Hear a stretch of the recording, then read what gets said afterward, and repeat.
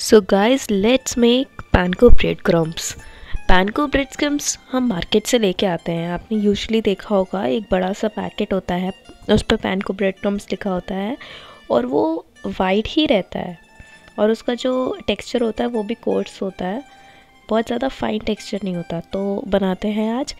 तो सबसे पहले मैंने यहाँ पे कुछ स्लाइसेस ली हैं ब्रेड की और उसके एजेस में रिमूव कर रही हूँ। फिर इनको छोटे पीसेस में काट लेना है। किसी भी शेप में कट सकते हैं, क्योंकि अभी हम मिक्सचर में इनको ग्राइंड करने वाले हैं।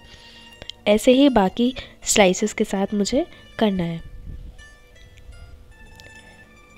और यूजली मैंने बहुत पहले ये ख़रीदे थे panko bread crumbs at that time I was not aware कि ये कैसे बनते हैं। बट जब मैंने ये ट्राई किया, उसके बाद से ना, मैं हमेशा होममेड यूज़ करती हूँ। कभी मैं बाहर से लेके आती ही नहीं हूँ और ये आप देखिएगा एग्जैक्ट वैसे ही बनने वाले हैं। और बहुत कॉस्टली भी पड़ते हैं वो। तो फिर मैंने इनको एक मिक्सर जार में डाल दिया। अब ये टेक्निक सबसे ज़रूरी है।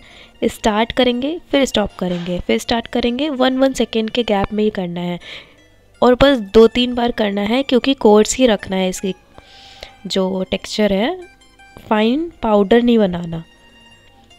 तो ये कर लिया हमने। अब इसको एक प्लेट में निकाल लेंगे। देख रहे हैं, इसी टेक्सचर में रखना है। अब हमने लो फ्लेम में हीट किया हुआ है ये पैन इसमें ये ब्रेड क्रम्स डाल देंगे। और अच्छे से अब हमको इसको मिक्स करते रहना है। कंटिन्यूसली चलाना है ताकि ये नीचे लगे ना। अगर ये नीचे लग गया तो ये ब्राउन हो जाएगा या गोल्डन कलर हो जाएगा। तो इसका कलर हमको वाइट ही रखना है, इसलिए कंटिन्यूसली जो है हमको मिक्स करते रहना है। और तब तक मिक्स करना है जबकि जो इसका मॉइस्चर है ब्रेड में जो मॉइस्चर होता है ना ऑब्वियसली ब्रेड हमने फ्रेश ली है तो इसमें मॉइस्चर होगा। तो हमको मॉइस्चर को एस्केप करना है हीट से। तो इसको कंटिन्यूसली आप मिक्स करते रहना है, जब तक कि पूरा मॉइस्चर ब्रेड से स्केप ना हो जाए, पूरा मॉइस्चर ब्रेड से निकल ना जाए, तब तक कंटिन्यूसली इसको चलाना है।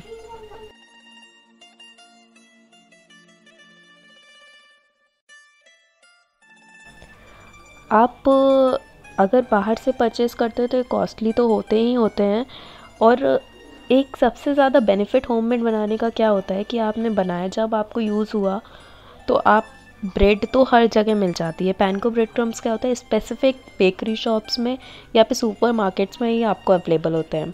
तो ब्रेड तो हर जगह अवेलेबल है। आप ब्रेड लाए और इंस्टेंटली आपने ये बनाया और कोई भी आपको स्नैक्स बनाना है या स्टार्टर्स बनाना है एज अ कोटिंग यूज़ करना है तो आपने इसको बनाया एंड झटपट से आप अपने स्नैक्स तैयार करोगे। तो बहुत सारे बेनिफिट्स हैं इसलिए आप मैं रिकमेंड करूँगी भले आप एक बार इसको बना के देखें बट प्लीज़ इसको बनाइए। And you can store it for two two three months easily आप इसको एयर टाइट कंटेनर में रखिए एंड आप इसको स्टोर करिए। तो देखिए मैंने यहाँ पे अच्छे से इसका मॉइस्चर पूरा निकाल लिया और ये अब क्रिस्पी हो चुके हैं। तो मैंने इसको एक बोल uh, में निकाल लीजिए या प्लेट में निकाल लीजिए और इसको बिल्कुल अच्छे से ठंडा हो जाने दीजिए, उसके बाद ही इसको लिट से कवर करिए, एयर टाइट रखिए और थ्री मंथ्स तक आप इसको अच्छे से यूज़ कर सकते हैं। तो रेडी है हमारे पैनको ब्रेड क्रम्स घर पे। बहुत ही इजीली और बहुत ही ज़्यादा अच्छी रेसिपीज़ आपको मैं देने वाली हूँ। तो so stay tune to my YouTube channel